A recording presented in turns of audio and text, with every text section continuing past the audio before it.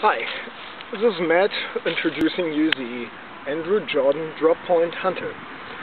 This is a knife made from Jordan Knives, www.jordanknives.com. Uh, Andrew Jordan is a, a, British bladesmith who lives in uh, Woudenberg in, in, in the Netherlands. He produces custom knives and uh, this is uh, a sort of his uh, military series kind of. Um, I asked uh, Andy for um, having a really stable, durable knife for hunting, fishing, everything I like. So I'm a hunter and I wanted to have a knife that is, uh, I said already, stable. Uh, and also I wanted to have a non-coated knife from a stainless steel, near stainless. He, he his decision was to give me a a D2 steel and uh, he made here uh, selective hardening on this uh, knife. So I have here, um, it's not so so good to distinguish from a carbon steel knife where the Hamon gets pops really out. Here is um, here's a slightly fine uh, Hamon on it, but you couldn't see it here on the on the movie.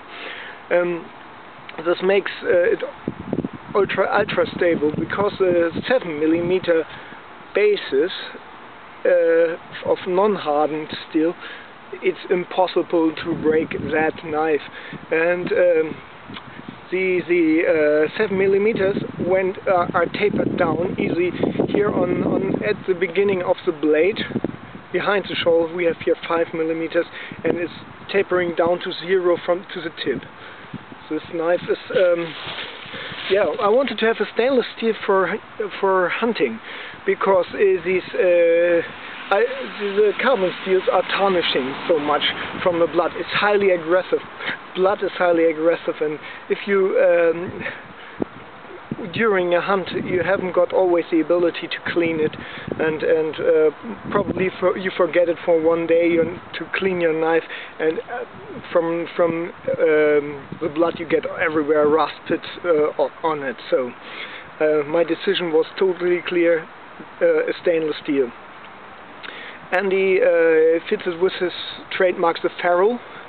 The ferrule is um, here soldered uh, it's really fine made, so you have here no, uh, it's totally sealed the handle, that no uh, blood could creep into the tang and, and would uh, rust there.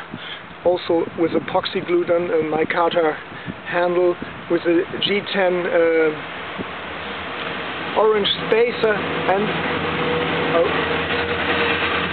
just a moment, a lot of noise and a hardened butt cap. I, uh, the decision for a hardened cap is that I'm uh, using my knife also for camping and hiking and uh, I often using it for hammering 10 packs or something and also it's just for hammering everything. It's it's it's stable enough to use it as uh, uh, as a hammer for so.